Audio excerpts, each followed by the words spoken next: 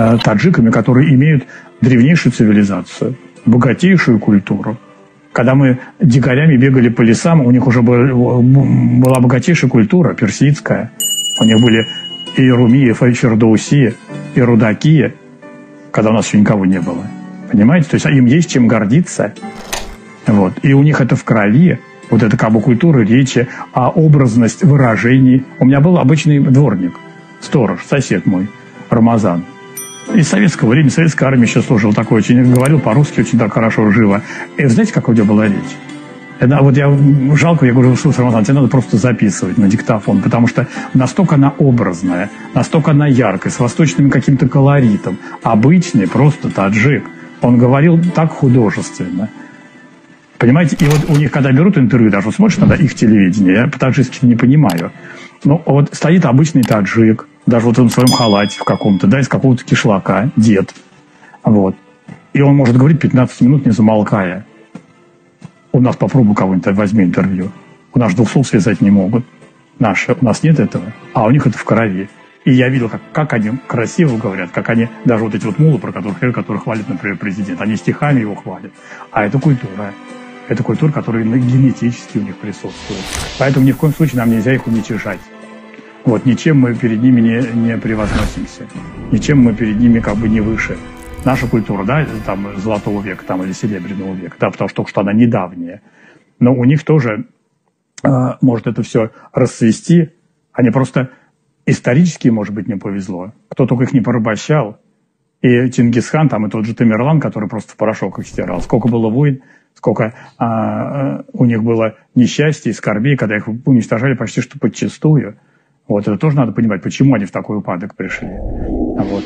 А, но народ очень, а, очень добрый. И, и вот я случай привожу, неоднократно я его приводил. А, это не, не я как бы был свидетелем этого случая. Я слышал это тоже по радио Радонеж, по-моему, не помню. По-моему, по Радонежу. Говорил обычно какая-то наша вот прихожанка, женщина, рассказывал, как она а, шла из э, салона красоты, и вот этот таджик, мусульманин, взваливает этого а, пьяного мужика себе на плечо со словами «Аллах велел всем помогать» и несет его по указанному адресу. Занес он его сестре. Оказывается, что этот мужчина, ученый, кандидат наук, у которого в этот день похоронил свою жену, и с горя напился. Вот вы понимаете, и вот назови ты этого таджика, что он не христианин, что это не милосердный самарянин. Вот как он поступил, то есть он мусульманин, берет русского пьяного мужика, взваливает к себе на плечо и несет его.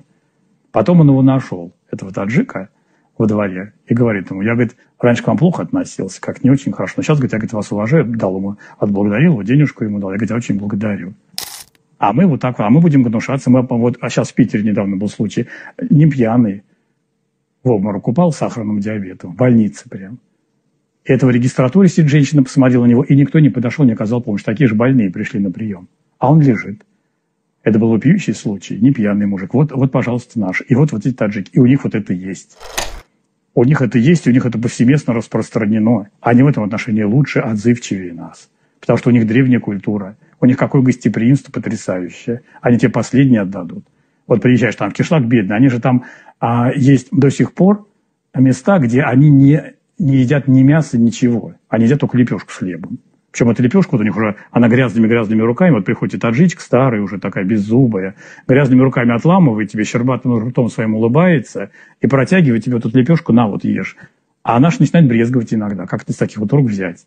А это же благословение Божие.